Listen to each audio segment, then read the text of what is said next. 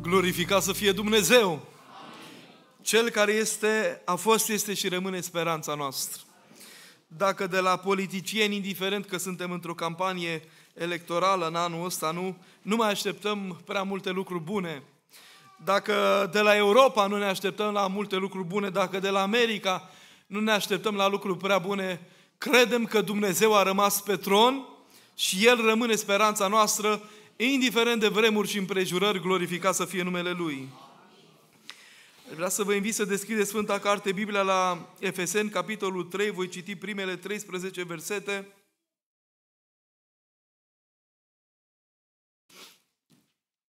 Efeseni, capitolul 3, intenționez să citesc de la versetul 1 până la versetul 13, cuvânt al Domnului care spune în felul următor. Iată de ce eu, Pavel, întemnițatul lui Iisus Hristos pentru voi, neamurilor, și iată că de acum începe în paranteză textul. Dacă cel puțin ați auzit de isprăvnicia Harului Dumnezeu care mi-a fost dată față de voi, prin descoperire dumnezeiască am luat cunoștință de taina aceasta, despre care vă scrisei în puține cuvinte. Citindu-le, vă puteți închipui priceperea pe care o am despre taina lui Hristos, care n-a fost făcută, cunoscut, care n-a fost făcută cunoscută fiilor oamenilor în celelalte veacuri, în felul cum a fost descoperită acum Sfinților Apostoli și prorocea lui Hristos prin Duhul. Și acum aduce o explicație. Că, adică neamurile sunt împreună moștenitoare cu noi alcătuiesc un singur trup cu noi și iau parte cu noi la aceeași făgăduință în Hristos Iisus prin Evanghelia aceea, al cărei slujitor am fost făcut eu după darul Harului Dumnezeu dat mie prin lucrarea puterii Lui. Da, mie, care sunt cel mai neînsemnat dintre toți sfinții, mi-a fost dat harul acesta să vestesc în neamurilor bogățiile nepătrunse ale lui Hristos și să pun în lumină înaintea tuturor care este isprăvenicia acestei taine, ascunse din veacuri în Dumnezeu, care a făcut toate lucrurile pentru ca domniile și stăpânirile din locurile cere să cunoască azi, prin biserică, înțelepciunea nespusă de felurita lui Dumnezeu, după planul veșnic pe care l-a făcut în Hristos Iisus, Domnul nostru. În El avem, prin credință în El, slobozenia și apropierea de Dumnezeu cu încredere.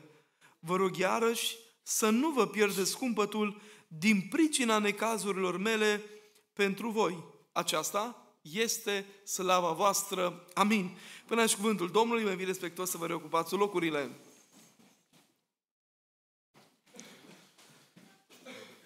Dragii mei, în această zi am citit acest pasaj biblic din Cartea Efesenilor de la capitolul 3, primele 13 versete, pasaj biblic care descrie mai degrabă frământarea unui om al lui Dumnezeu pe nume Sfântul Apostol Pavel, care se afla într-un context nu demn de dorit, în închisoare. El nu era ajuns în închisoare pentru că era certat cu legea penală.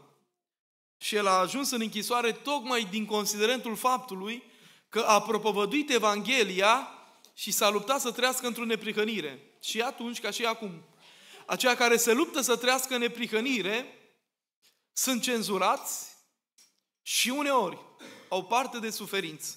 Și dumneavoastră știți că începând cu domnia împăratului roman Nero, care a început în anul 54 după Hristos, și până la edictul de la Minalo în anul 313 după Hristos, deci aproape trei secole, au fost 10 mari valuri de persecuție prin care 10 împărați romani, în diferite etape ale istoriei, au prigonit Biserica lui Dumnezeu.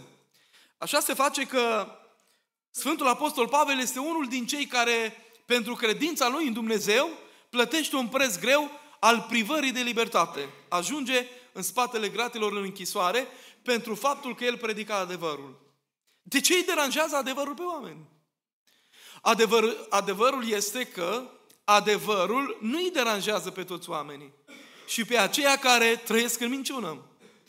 Nu pe toți oamenii deranjează lumina, ci pe aceia care trăiesc într-un deranj. Deseori se întâmpla când dumneata, stimată mamă, mergeai în camera pruncilor tăi adolescenți și când intrai acolo, vedeai o haină aruncată invers, uh, uh, ciorapii erau puși uh, nepotrivit și ce reacție avea pruncul dumneata când dumneata ca mamă intrai acolo? Lasă-mă mamă în pace, se simțea deranjat. Și de ce? Că era dezordine. E și vreau să vă spun că oamenii se simt deranjați de adevăr, de lumină, de bine, de Dumnezeu, de credință, atunci când în sufletul lor este dezordine. Așa se face că Sfântul Apostol Pavel, pentru faptul că a lăsat ca lumina lui Hristos să strălucească în viața lui, să predice adevărul, oamenii aceștia cu multă dezordine în sufletul lor, s-au simțit stânjeniți de așa manieră încât au zis, tu trebuie să plătești prețul greu al închisorii.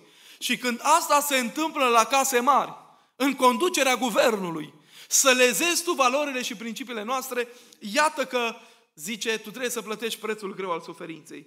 Și Sfântul Apostol Pavel a spus, decât să trăiesc în ipocrizie, în păcat, în minciună și în desfrâu, mai bine să trăiesc într-o neprihănire chiar și în spatele gratilor. Extraordinar! Ce declarație de credință! Și se cânta în această zi prin sora noastră Alina, Dumnezeu să o binecuvinteze, tocmai despre acel nor mare de martori care au plătit un preț greu al suferinței pentru adevărul lui Hristos.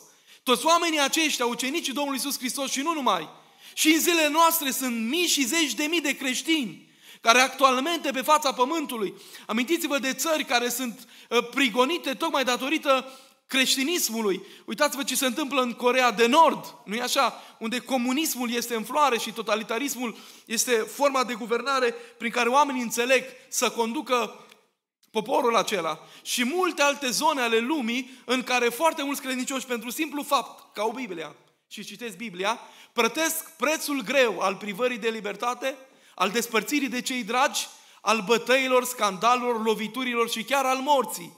Sunt o grămadă de oameni care la ceasul acesta când eu vorbesc, plătesc preț de martiriu pentru credința în Dumnezeu. Așa a fost atunci, așa este și acum și așa o să vedeți că se va întâmpla și în scurgerea vremurilor, pentru că deja acești poi, pori ai amenințărilor venite din partea lumii seculare, încep cu multă grăbnicie să intre chiar și în proiectele legislative contemporane. Cum ar fi? Se discută foarte adesea ca astăzi clerul slujitorii lui Dumnezeu să poată să cunune căsătoriile între persoane de același sex. Și se face mare presiune din partea Europei, chiar și România, să poată să promoveze și să adopte astfel de proiecte legislative. Și dacă nu s-au întâmplat azi, mâine, anul ăsta, poate peste 2-3 ani, la un moment dat se va întâmpla. Și atunci întrebarea care survine adiacentă afirmației de mai devreme este aceasta. Și noi, în calitate de credincioși care cunoaștem Sfânta Carte, Biblia, și Biblia spune că Dumnezeu a unit prin căsătorie un bărbat și o femeie, ce preț credeți că va trebui să plătim noi? Exact același preț pe care l-au plătit și înaintașii noștri și chiar și Sfântul Apostol Pavel, care trebuie să ajungă în spatele gratilor. Pentru că, slavă Domnului că v-am spus eu acum un an sau doi, că se dezbătea la Comisia Europeană de la Bruxelles un proiect prin care toți cei care mai predică împotriva avortului și a căsătoriilor de același sex să atragă lucrul ăsta răspunderea penală și sigur că încă este în fază de dezbatere și pentru că, mulțumită Domnului, mai avem încă europarlamentari, puțin la număr, dar cu frică de Dumnezeu, care au luptat și tot ce au făcut ei până acum e să amâne, să tergiverseze aceste intenții malefice ale acestor legiuitori care vor, de fapt, dragii mei, să distrugă valorile noastre creștine.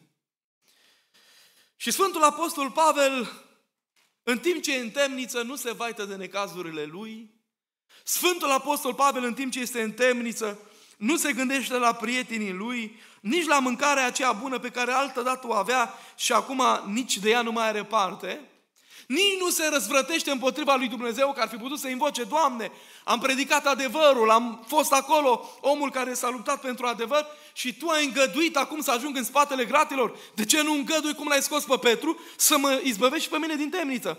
Dar Sfântul Apostol Pavel a știut că Dumnezeu are tainele Lui, vremea Lui, planul Lui și timpul Lui pentru fiecare în parte. Și în timp ce stă în temniță, în timp ce dumneata te-ai răzvrăti, ai cârti și te-ai apucat de prostii, Sfântul Apostol Pavel se gândește la iubita lui biserică din Efes. Un oraș al Greciei de astăzi. Și v-am descris în urmă cu câteva săptămâni când am avut primul capitol al cărții Efeseni și am vorbit acolo despre bogățiile, despre cultura, despre religia vremii, despre templul zeiței Diana și despre toate influențele și nivelul economic ridicat pe care îl avea în vremea de atunci orașul Efes. Și a fost Apostolul Pavel, omul lui Dumnezeu, înființează acolo biserică, lasă oameni responsabili care să ducă mai departe mandatul acesta al slujirii, îngrijind de biserica din Efes și acum, ca și cum suferința nu i-ar fi fost prea mare, se frământă pentru aceeași biserică din Efes. El nu se plânge de necazurile lui, ci din potrivă scrie o scrisoare care poartă numele de epistola sobornicească a Sfântului Apostol Pavel către biserica din Efes. Și, dragii mei, în capitolul 3 se vorbește de câteva ori despre o taină. De cel puțin trei ori este reiterat conceptul taină. De câteva ori se reiterează cuvântul descoperire. Despre care taină vorbește Sfântul Apostol Pavel? Apostol Pavel vorbește despre o taină pe care Dumnezeu i-a descoperit-o lui, taină care a vizat nu doar evreii, ci și neamurile, adică implicit și pe noi astăzi. Pentru că în vremea de atunci, când Sfântul Apostol Pavel scria, lumea se împărțea în două. Din punct de vedere al spectrului religios. Erau creștinii care începând cu Faptele Apostol, capitolul 2, prin inaugurarea bisericii primare și acești creștini aveau calitatea de a fi urmași al lui Isus Hristos. De aici derivă și cuvântul creștin, urmași al lui Isus Hristos. Și a doua categorie de oameni, pe lângă creștinii care erau urmași lui Isus Hristos, erau neamurile sau păgânii care aveau diferite forme de închinare, evident idolatre, la diferiți zei, la diferite culturi. Unii se închinau la soare, la zeița Diana, la Artemis, la tot felul de zeități și înțelegeau prin asta că au nevoie să intre în comuniune cu o formă transcendentală, adică mult superioară ființei limitate a omului. Și fiecare făcea după cum îi tăia capul, după cum era cu tuma vremii, după cum au învățat de la înaintașii lor. Și uitați-vă, dragii mei, în această vreme în care lumea se diviza în două, evrei și neamurile, evreii erau religioși care primise de la Dumnezeu Tora. Ce înseamnă Tora? Primele cinci cărți ale Vechiului Testament. Primise revelațiile prin proroci și primise descoperiri dumnezeiești care erau revelate în Vechiul Testament. Și oamenii aceștia aveau un templu, una din cele mai mari șapte minuni ale lumii antice, templul lui Solomon, celebrul ă, templu al lui Solomon, în care oamenii se veneau, se uitau și spuneau, măi, este cu adevărat o mare capodoperă, o mare minune. Pentru că evreii veneau și se închinau lui Iacve, Dumnezeul cel adevărat. Evreii au dezvoltat cu trecerea timpului un fel de evlavie, dar și aroganță spirituală, spunând toate celelalte neamuri, drăcuie, înjură, curvesc, beau, fac fapte de rușine, iar noi ne luptăm să trăim într-o nepricănire. Iar noi nu mai putem fi compatibili cu sistemul lor de valori, cu gândirea lor, cu felul lor de a fi, cu obiceiurile lor păgâne. Așa se face că dacă dintre neamuri, și din neamuri intrau spaniolii, italienii, americanii, românii, toate națiunile lumii, mai puțin evrei, toate aceste popoare multietnice, multiculturale, dacă erau interesați să vadă ce se întâmplă la templu din Ierusalim, ei cel mult aveau voie să intre în curtea neamurilor, pentru că era locul sfânt, locul preasfânt, era pridvorul zis al lui Solomon și era curtea neamurilor. Adică, toți cei care nu erau dintre evrei, nu aveau voie să intre în sanctuar. Ei n-aveau voie să intre la slujbă. De ce? Pentru că se credea că ei spurcă templul lui Dumnezeu.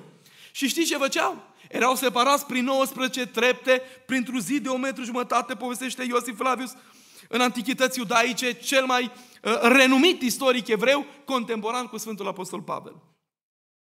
E, și vreau să vă spun, dragii mei, că oamenii ăștia trebuia să stea în curte. Imaginați-vă o vreme de fric cumplită în care tu nu puteai sta la slujbă, tu stai în curtea marelui uh, uh, templu și acolo izolat. Și ce să faci? Trăiai toată viața cu acest stigmat social, etnic, că nu te-ai născut evreu.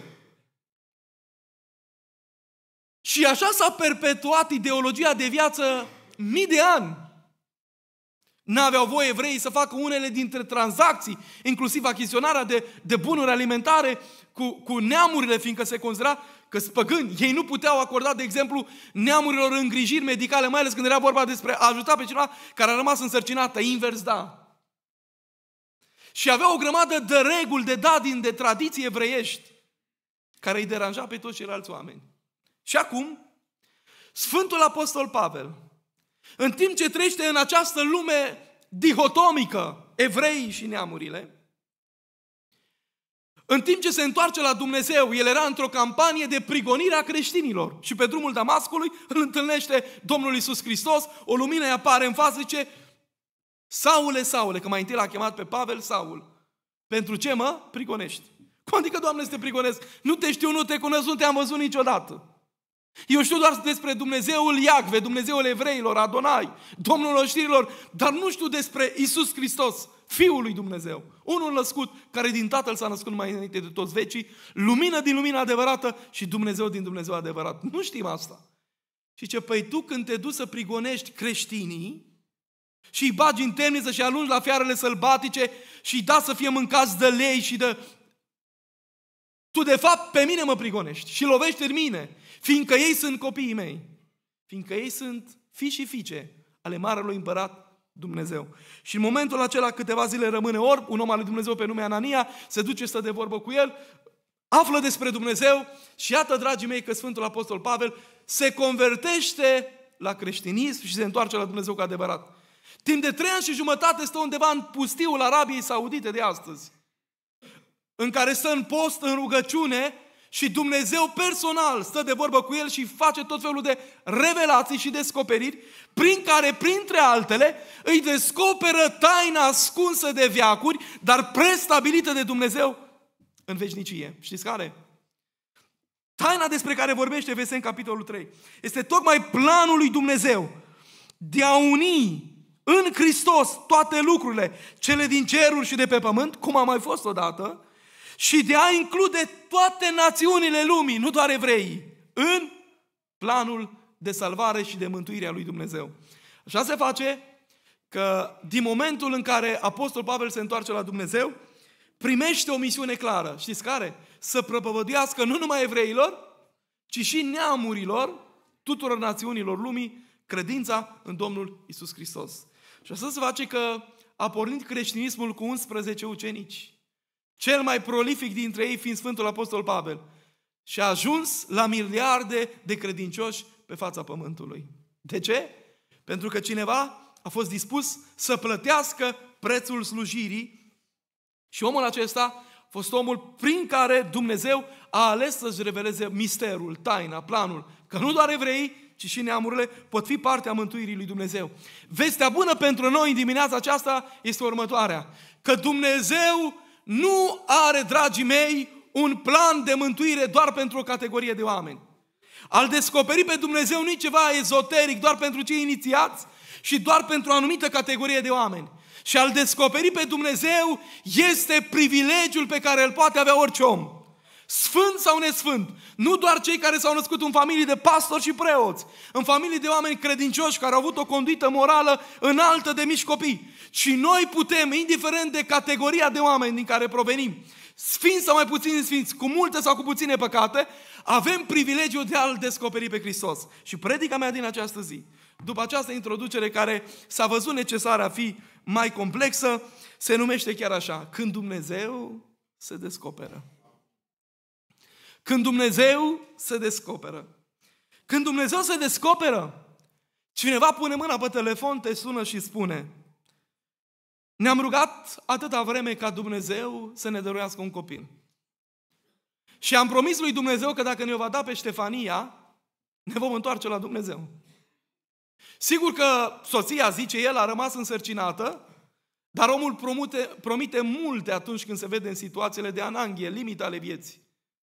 Dar la câte dintre ele mai poate să zică am îndeplinit cu scumpătate promisiunile. Și Dumnezeu s-a ținut de cuvânt.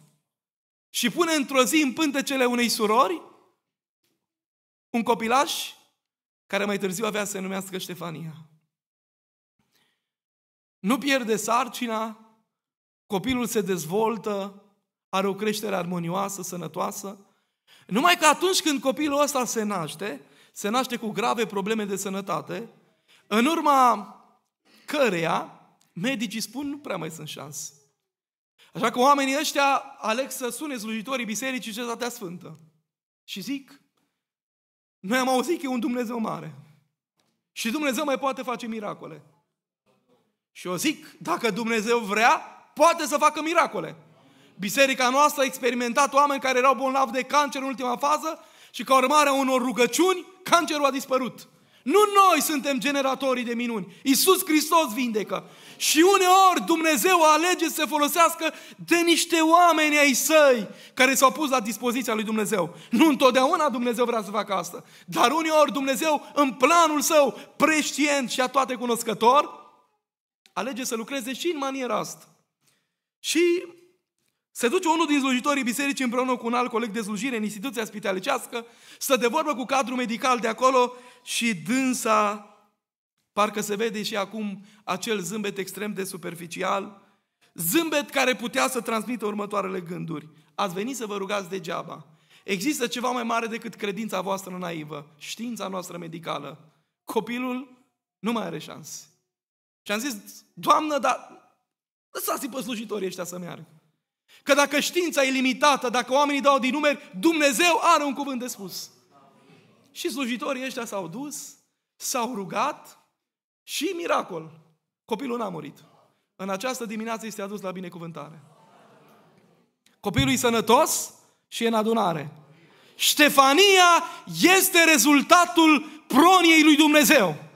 Este rezultatul unui miracol. Dumnezeu ascultă rugăciunile. Este rezultatul unui Dumnezeu care n-a uitat de noi. Și în anul 2024 Dumnezeu mai face minuni. Și în această zi, Adi, împreună cu soția lui, au venit, ca probabil peste 20 ceva de minute, 30, să pună copilul acesta în mâinile lui Dumnezeu, să zică, Tu ni l-ai dat. Tu ai făcut minuni în dreptul lui. Și noi, Doamne, dacă în primă fază am uitat, acum nu mai avem voie. Ne întoarcem cu toată inima la Tine. Adrian, soția lui, în timp ce era în spital, stăteam de vorbă uh, cu fratele Alexandru, cu el și au zis, noi vrem să ne întoarcem la Dumnezeu cu adevărat. Și Dumnezeu le-a onorat credincioșia lor și declarația lor de credință, angajamentul de a-L urma pe Domnul. Așa că astăzi este despre un Dumnezeu care se descoperă. Un Dumnezeu care s-a descoperit în dreptul acestei familii. Și mă rog ca Dumnezeu să se mai descopere și astăzi.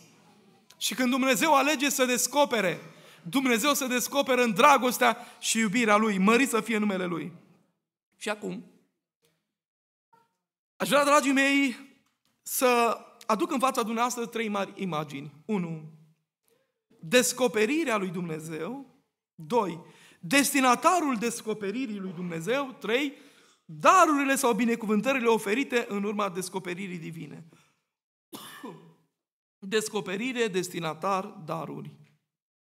Simplu de reținut. Când vorbim despre descoperirile lui Dumnezeu, vreau să vă atrag atenția asupra faptului că Dumnezeu, prin descoperirile sale, vrea de fapt să ne transmită niște semnale. Și aș vrea să evidențiez trei caracteristici cât se poate de telegrafice ale ceea ce constituie descoperirile lui Dumnezeu.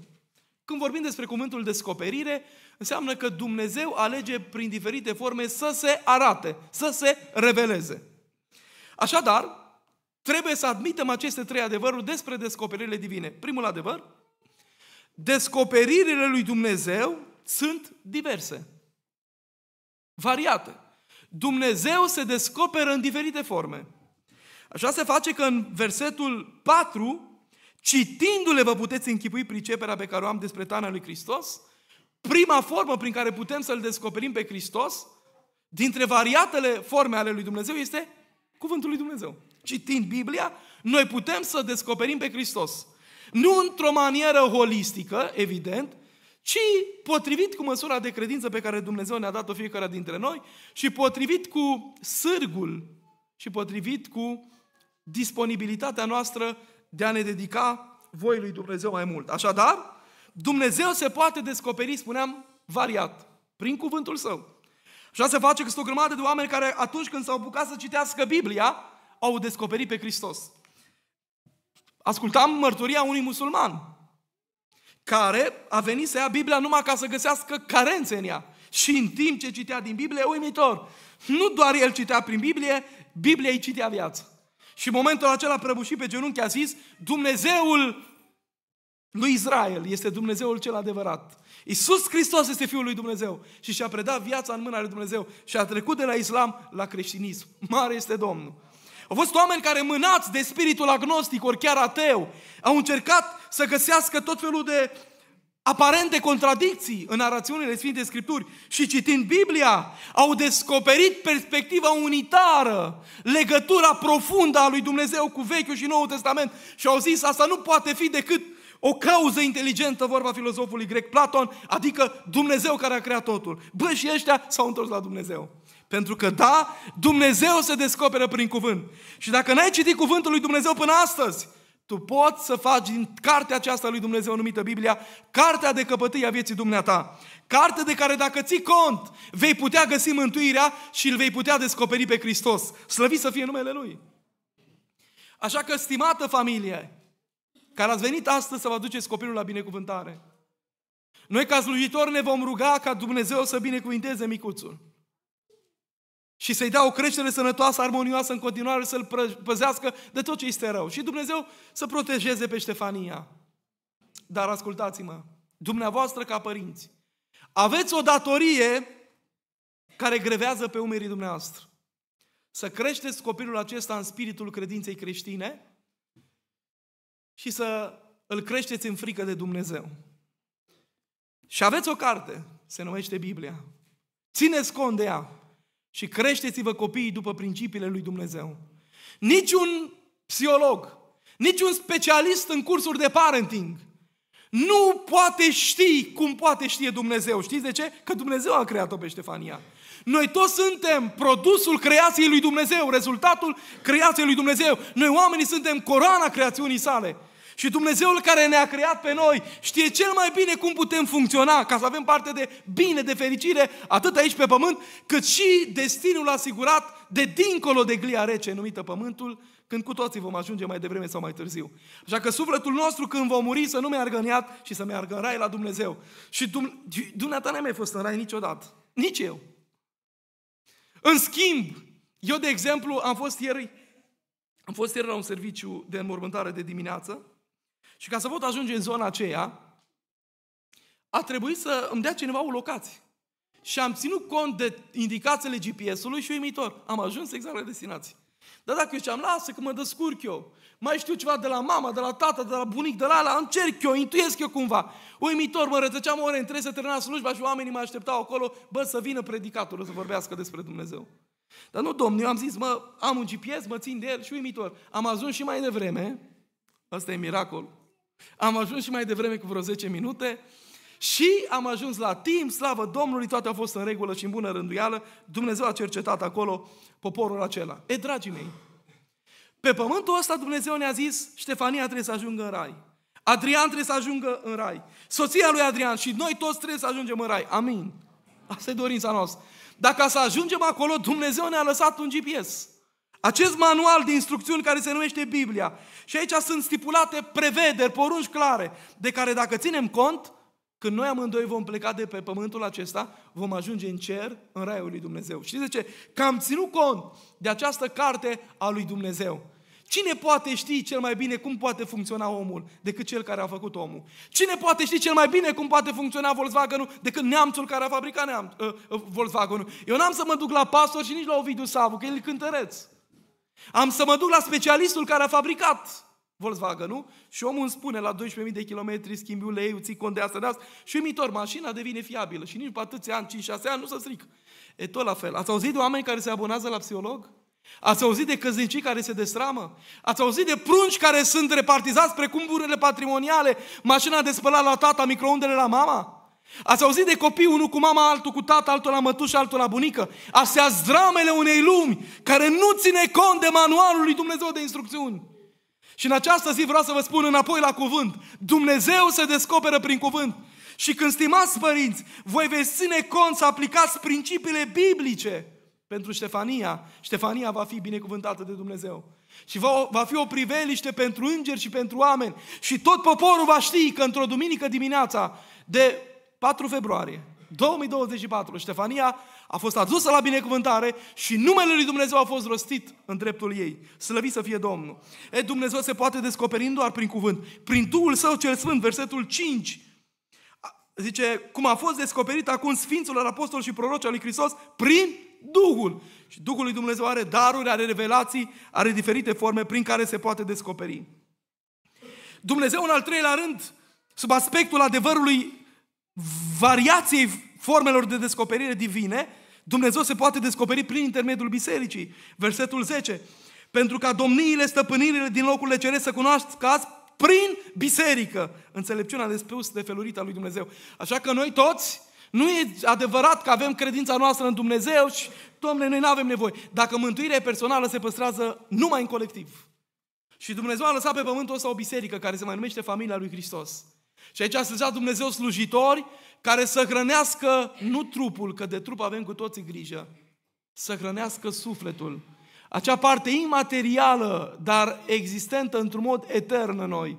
Că dacă trupul se descompune, dacă Duhul se duce la Dumnezeu care l-a dat, sufletul mere, după ce ne despărți, se desparte Duhul și sufletul de trup, ori în iad, ori în rai. Și ca sufletul meu să ajungă la Dumnezeu, eu am nevoie, prin slujitorii bisericii, să ascult predici, să mă rog, să cânt cântări creștine, să duc o viață de evlavie. De aceea zice foarte clar Sfântul Apostol Pavel, prin biserică Dumnezeu se poate descoperi.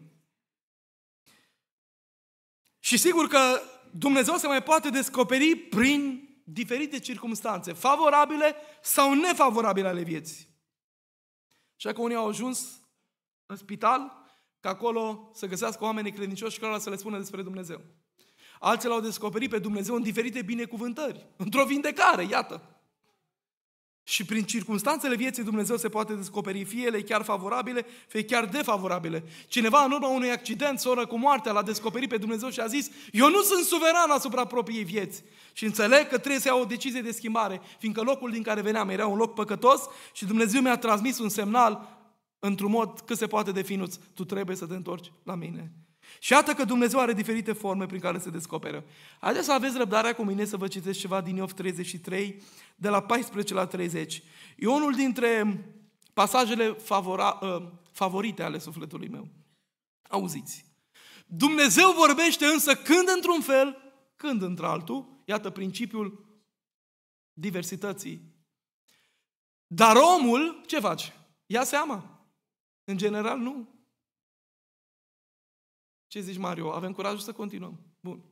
El vorbește prin vise, prin vedenii de noapte. Auziți? Dumnezeu vorbește prin vise. Au fost oameni care au spus, am avut un vis că trebuie să mă întorc la Dumnezeu. Prin vedenii de noapte, când oamenii se confundați într-un somn adânc, când dorm în patul lor. Mai departe. Atunci El le dă înștiințări și le întipărește învățăturile Lui. Ca să abată pe om de la rău și să-l ferească de mândrie ca să-i păzească sufletul de groapă și viața de loviturile sabiei. Auziți? Și prin durere este mustrat omul în culcușul lui. Când o luptă necurmată îi frământă oasele, atunci este greață de pâine, chiar și de bucatele cele mai alese. Carnea îi se prăpădește și piere, oasele care nu îi se vedeau rămân goale, sufletul îi se apropie de groapă și viața de vestitorii morții. Dar dacă se găsește un înger mijlocitor pentru el, unul din miile acelea care vestesc omului calea pe care trebuie să urmeze, Dumnezeu se îndură de el. Și pentru Ștefania s-au găsit mijlocitori. Și Dumnezeu s-a îndurat de ea și auziți ce zice îngerului.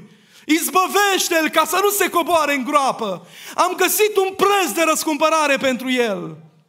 Și atunci carnea lui se face mai fragedă ca în copilărie se întoarce la zilele tinereții lui, se roagă lui Dumnezeu și Dumnezeu este binevoitor.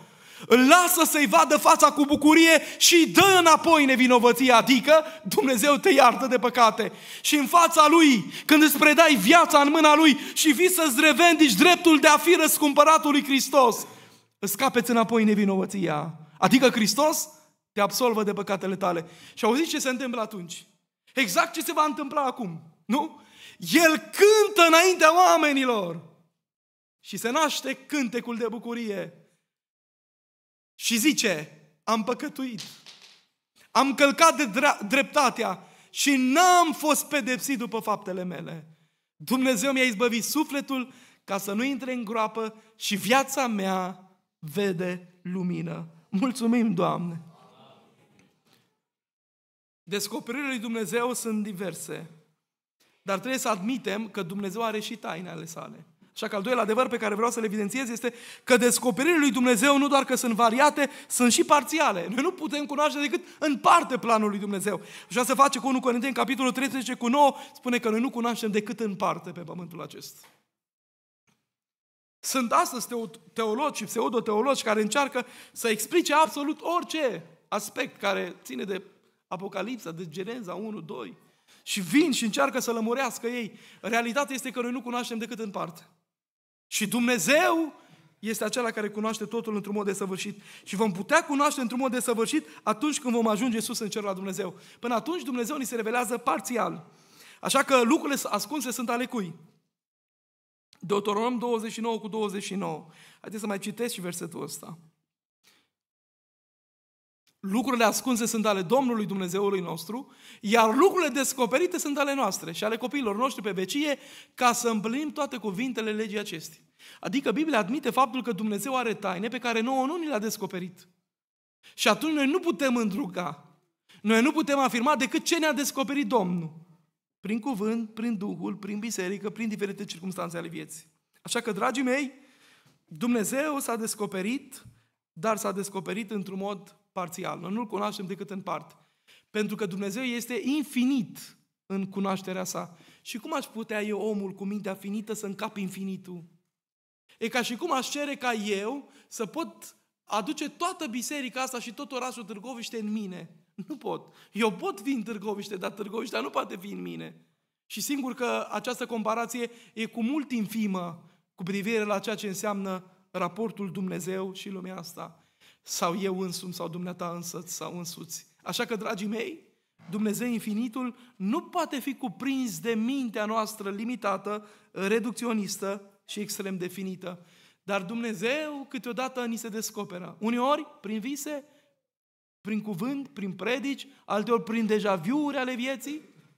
Și Dumnezeu ne vorbește în diferite feluri pentru că este bun. Aștia sunt Astea sunt mecanisme supranaturale prin care Dumnezeu se revelează omului. Slavă Domnului pentru asta! Știți că pe lângă revelația specială, mai este și revelația generală. Dumnezeu se descoperă prin natură, prin mediul înconjurător, prin tot ce ne înconjoară, așa Universul, galaxii, aștri, sunt forme prin care Dumnezeu alege să se reveleze.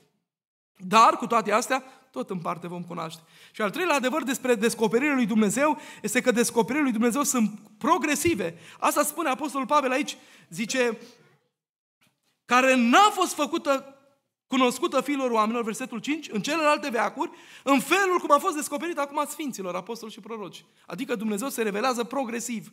Evrei, capitolul 1, versetul 1, 2, 3, tocmai despre asta vorbește, că Dumnezeu se revelează într-o manieră progresivă. Adică, Într-un fel am cunoscut pe Dumnezeu în Vechiul Testament, într-un fel am descoperit pe Dumnezeu în Noul Testament. De aceea, și noi copiilor noștri, tot această metodă educativă procesuală aplicăm în relație cu, evident, educarea lor. Nu-i așa? Nu îi spui la un an și jumătate, pruncule, vezi că dacă pui mâna la priză are 2, 2, 220 de volt și Doamne ferește să nu te faci cenuși. 220 volt nu mă interesează, nu înțeleg ce înseamnă asta. Dar când ajunge mare, vorbesc despre fizică, fie ea și cuantică, îi vorbești despre chimie, despre matematică, omul înțelege altfel. Uh, când îi spui să nu uh, uh, facă o, o prostie, îi spui, nu face asta că tata îți dă nana. Atât. Mai târziu îi spui de ce. Și el înțelege raporturi sociale, responsabilități, îndatoriri, drepturi. Da, asta cu trecerea timpului. Tot la fel și Dumnezeu nou. Așa că omul cu cât se apropie mai mult de Dumnezeu, Dumnezeu îi se descoperă într-o manieră evolutivă. Aceasta a fost prima imagine, descoperirea lui Dumnezeu. A doua imagine, nu doar descoperirea lui Dumnezeu, destinatarul descoperirii lui Dumnezeu. Cine este destinatarul? În primul rând, Apostolul Pavel, care comunică mai departe bisericii din Efes și inclusiv ca o derivație ne comunică și nouă astăzi. Și haideți să ne uităm puțin la profilul acestui destinatar, la Sfântul Apostol Pavel. Și am zis cumva anticipativ în introducerea predicii. Un destinatar care e gata să plătească prețul slujirii, întemnițat pentru Hristos. Un destinatar care pricepe că darul și chemarea și descoperirile care i s-au făcut, nu s-a făcut că el e mai bun, și că Dumnezeu a avut milă și har de el. Așa că, dragii mei, Dumnezeu se descoperă acelor oameni care sunt dispuși să plătească prețul. Doamne, vreau, dar ești gata să plătești prețul descoperirii divine? Indiferent ce înseamnă asta. Poate că tu nu o să plătești prețul ca Sfântul Apostol Pavel să fie aruncat în spatele gratilor. Poate că o să plătești prețul locării, disprețului, arătării cu degetul. Fiindcă vor veni oameni și vă spune, tu ai primit descoperirea lui Hristos, te-ai întâlnit cu Hristos, tu ești destinatarul acestei revelații sfinte. Și vor zice, bă, dar tu la vârsta asta, mă, cu Dumnezeu, cu rugăciunea, cu biserică, tu te vezi des capul tău, mă, distrează-te, carpe diem, trăiește clipa. Și dintr-o dată vei auzi din partea neamului tău oameni care îl vor spune, a nebunit. A nebunit Timotei. Dar de ce a nebunit? De ce a nebunit Adrian? De ce a nebunit nu știu care? Păi ce a nebunit, mă, că înainte drăcuia, fuma, jura, era prieten cu bergăbini și cu malboră, dar acum nu mai drăcuie, nu mai fumează, nu mai bea, nu-și mai înșeală nevasta, are grijă de pruncii lui. Oameni buni, cine să aibă dreptate? Lumea sau Dumnezeu? Întotdeauna Dumnezeu. Dar omul stricat nu va putea să aibă o reprezentare clară a ceea ce înseamnă lucru bun și sănătos. Eu nu pot spune că o linie este strâmbă decât dacă în prealabil am văzut cum arată o linie dreaptă, corect? Tot la fel, omul nu poate spune despre bine și rău decât dacă mai înainte i s-a descoperit Dumnezeu și ajunge să descopere lumina lui Hristos. Și când trăiește într-un chim moral, auziți ce zice Matei, capitolul 5, fericiți cei cu inima curată, că cei vor vedea pe Dumnezeu. Când inima mea se curăță de păcate, încep să zic, bă, are dreptate omul ăsta. Pe eu mă lăudam ieri că la 5 albă de bere încă nu m-am făcut mahmur și e o rușine să fac treaba asta. Eu mă plângeam până mai ieri că la 35 de ani am rămas să mă uit la cai verzi pe pereți și uimitor la 35 de ani am rămas fără pereți. Pentru că eu am dat uh, zeci de milioane lunar pe țigări. Dar dai românul sărac, care bani de vicii care să-i distrugă sănătatea, dar n-are bani pentru a dea pruncilor semișuri la școală. Și uitați-vă că de fapt nu e o problemă de bogăție sau sărăcie, și în primul rând e o problemă de minte. Pentru că eu cunosc oameni care au, au avut un singur salariu, minim pe economie și au reușit să crească 15 copii. Și nu a lipsit pâinea de pe masă. Și unii cu salarii de 4-5 mii de euro pe lună ne plângem. Păi câte mii de euro se duc pe desfrâu, pe țigări, pe alcool, pe aia, pe aia, pe cealaltă? Și nu doar atât, într-un mod miraculos vei putea experimenta binecuvântarea lui Dumnezeu care îți va purta de grijă. Că au fost oameni care cântau în lume și erau mari vedete și au spus, dacă ne întoarcem la Dumnezeu, chiar de curând am zujit la Arad cu una dintre vedete care cânta în lume și într-o zi a pus capăt uh, uh, lumii și a zis, noi vrem să ne întoarcem la Dumnezeu. Și prima întrebare care a fost, noi nu știm face altceva. Cum o să ne descurcăm? Și în povestea el acum, Dumnezeu ne-a binecuvântat într-un mod extraordinar. Atunci zice, câștigam mult și aveam puțin. Acum nu câștigăm la fel de mult, dar avem mult mai mult. Care să fie explicația? Binecuvântarea lui Dumnezeu. Slăvit să fie Domnul în veci. Așa că destinatarul descoperirii îi gata să plătească prețul. Pricepe că darul și chemarea sunt făcute de Dumnezeu. Pricep dumneata că orice dar bun și desăvârșit vine de la Tatăl Luminilor? Pricep dumneata că dacă Dumnezeu te-a luminat, nu ești mai bun decât altul.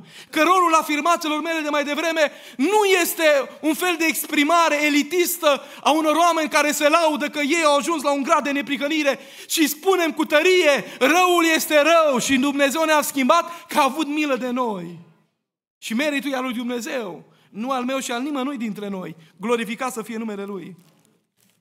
Destinatarul descoperirii, Pavel, uitați-vă la treia caracteristică, are o percepție modestă despre sine. Versetul 8, dar mie, care sunt cel mai neînsemnat dintre toți sfinții, mi-a fost dat harul.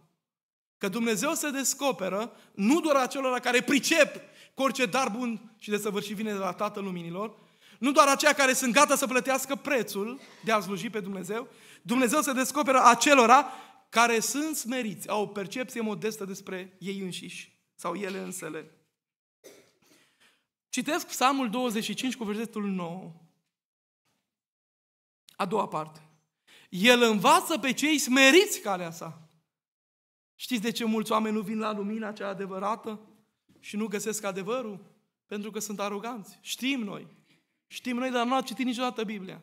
Știm noi, dar nu au citit niciodată un curs de istorie bisericească. Știm noi, dar știm noi în virtutea ignoranței. Că atunci când stai aici pe pământul ăsta și te uiți la avion, zici, mă, ce să laudă oamenii că în cap acolo 200 ceva de oameni? Și mic e avionul. Dacă când te apropii de el, nu mai e chiar atât de mic. Vă spune unul care are sute de zboruri. Exact așa e și, și cu cunoașterea lui Dumnezeu. Cu cât stai mai departe de El, se pare că știi. Cu cât te apropii mai mult de El, îi vezi sfințenia, îi vezi măreția și spui, Doamne, eu sunt cu atât mai mic înaintea Ta și Tu ești cu atât mai mare. Așa că al cunoaște pe Dumnezeu ține de modul în care alegi să te apropii sau să te depărtezi de Dumnezeu. Și soluția ca să-L descoperi mai bine pe Dumnezeu. Auziți ce spune omul lui Dumnezeu cu doctorat în teologie, care a avut parte de revelații și vindecări și minuni supranaturale Sfântul Apostol Pavel. Și să-L cunosc pe El. Aceasta era dorința lui. Cum adică? Tu ne-ai predicat atâția zeci de ani. Ai slujit pe Dumnezeu cu atâta devotament. Acum tu te rogi să-L cunoști mai mult pe Dumnezeu, da, că Dumnezeu e infinit. Și eu vreau mai mult, mai mult și mai mult să-L cunosc pe Dumnezeu. Și de aceea, dragii mei, vreau să vă spun că Dumnezeu se descoperă acelor oameni care știu să se smerească. Eu sunt un păcătos, eu sunt o păcătoasă, eu am nevoie de mântuirea Ta, Doamne. Și când te smerești și îți vezi starea de vinovăție și de păcat, Hristos îți întinde mâna salvării. Slăvit să fie El. Și aș mai zice ceva și apoi mă apropii de concluzie. Un destinatar preocupat de biserică, măcar că este în temniță, auziți ce zice? Vă rog iarăși, versetul 13, să nu vă pierdeți cumpătul din pricina necazurilor mele. Un destinatar preocupat de lucrarea lui Dumnezeu. Că atunci când Dumnezeu ți se descoperă, Dumnezeu se descoperă acelor care sunt interesați și preocupați de Dumnezeu și voia sa. Știți de ce mulți oameni nu-L descoperă pe Hristos și și mai mulți oameni vor merge în iad? Din ignoranță. Nu sunt preocupați. Vă zice, dacă mă chemai în dimineața asta la un curs de educație financiară, cum să fac primul milion de euro, probabil că nu eram aproape 300 de oameni aici, eram poate mii de oameni. Dacă mă chemai la un concert și vorbeai cu Andra Măruță să dea un spectacol aici, erau sute de mii de oameni aici. Dar tu vii să-mi vorbești despre Dumnezeu, Sfințenie, Mântuire, Salvare. De aceea vreau să vă spun în această zi, stimați credincioși, că Dumnezeu se descoperă acela, acelor oameni preocupați de lucrarea lui Dumnezeu. Și ascultați-mă, toată slava acestei lui va trece într-o zi. Și auziți ce spune Domnul Isus Hristos în Matei, capitolul 16. Și ce ar folosi un om să câștige nu un milion de euro, că e prea puțin, să câștige toată lumea. Toți banii lui Rockefeller, lui Bill Gates, lui Elon Musk, cine mai vreți dumneavoastră. Dacă și-ar pierde sufletul. Adică toate sutele și miliardele, miliardele de euro nu pot fi puse pe același taler cu un singur suflet. Un singur suflet mântuit de Dumnezeu e mai valoros decât toți banii din lume. Și diavolul știe asta. De aceea această ignoranță pe umerii multora nu-mi pasă mie, Domne. Dar ascultă-mă! Când te uiți în fața realității morții și îți dai seama că ești trecător și într-o zi vei, pus, vei fi pus între patru scânduri la 2 metri sub pământ, cred că ar trebui să te gândești mai responsabil ca niciodată unde va merge sufletul tău. Că iadul nu e un chin pentru trei ani, că ai scăpa. Nici pentru 100 de ani, că s-ar termina. Nici pentru 1000 de ani, că s-ar fini într-o vreme. Și veșnic, prieteni. Și Dumnezeu ne pune în această zi viața și moartea, binele, răul, iadul sau raiul, adevărul sau minciuna, lumina, întunericul, Dumnezeu, diavolul. Și știți ce preferă oamenii să facă? Să meargă cu diavolul. Și în această zi, eu, prin cuvântul pe care vi l-am predicat, am vrut de fapt să rog pe Dumnezeu să se mai descopere unor minți care până mai astăzi poate că au fost obturate de întunericul păcatului. Și în această zi Dumnezeu să dea vălul păcatului la o parte și cu toții să pătrundem în adevărurile luminoase ale lui Hristos și să spunem eu trebuie să mă întorc la Dumnezeul cel adevărat și trebuie să trăiesc într-o neplicănire cerută de El. Dumnezeu să mai facă miracolul ăsta. Mai aveți răbdare două, trei minute de concluzie? Am ce să ziceți și voi.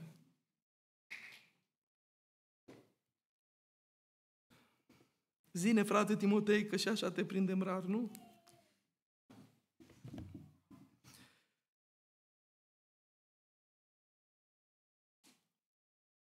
Am vorbit despre descoperirea lui Dumnezeu, am vorbit despre destinatarul descoperirii.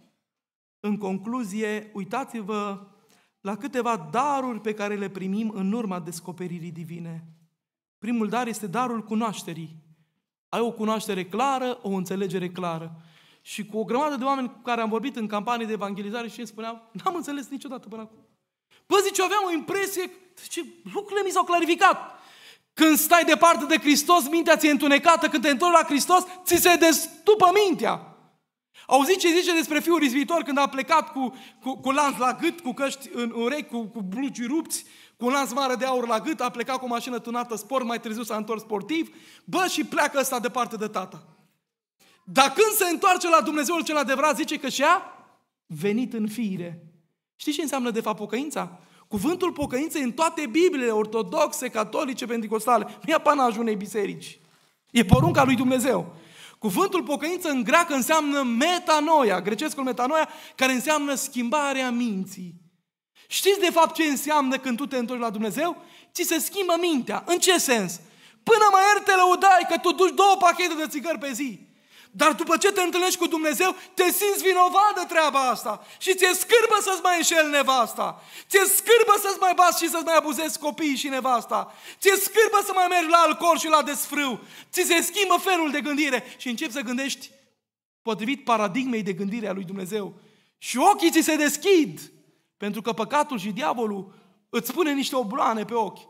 Și tu nu vezi decât prin prisma unei lumi necurate, păcătoase și a unui anturaj defectuos din punct de vedere moral. De aceea, dragii mei, mă rog ca Dumnezeu să ne ofere acest dar prin descoperirea sa, să-L cunoaștem într-un mod cât mai clar, voia Lui, să avem o înțelegere superioară față de ceea ce cere Dumnezeu de la noi. nu e așa? Psalmul 119, versetul 130, spune foarte clar. Descoperirea cuvintelor tale dă lumină, dă pricepele celor fără răutate. Așa că, iată, primul dar al descoperirii divine. Al doilea dar, descoperirile divine consolidează, zidesc spiritual. Versetul 12-13 și 1 Corinteni 14 cu 26. Dacă unul are vreo descoperire printre alte enumerări de acolo, ce toate se facă spre zidire sufletească. Așa că atunci când Dumnezeu se descoperă, se simte ceva în inima ta. Sufletul se zidește, omul dinăuntru, sufletul pe care l-a ignorat 30 de ani, 40 de ani, 50 de ani, 60 de ani, sufletul dintr-o dată se zidește, se hrănește spiritual. Suflet de care n-ai avut timp și parte, pentru că la tine n-a contat decât paralele, banii și plăcerile de o clipă. Dar în momentul în care te întâlnești cu Dumnezeul cel adevărat, sufletul se simte străpuns. Te atinge Dumnezeu cu lumina sa și începi să spui adevăratele întrebări existențiale ale vieții. Și mai e un dar pe care îl primim prin descoperirea divină. Primim călăuzire, cârmuire supranaturală. Și Dumnezeu, din momentul în care te întorci la El, Duhul Sfânt atinge într-un mod special ființa ta și începe să-ți vorbească în conștiință ce este bine și ce nu este bine să faci. Așa se face că Proverbe 29 cu 18 spune foarte clar.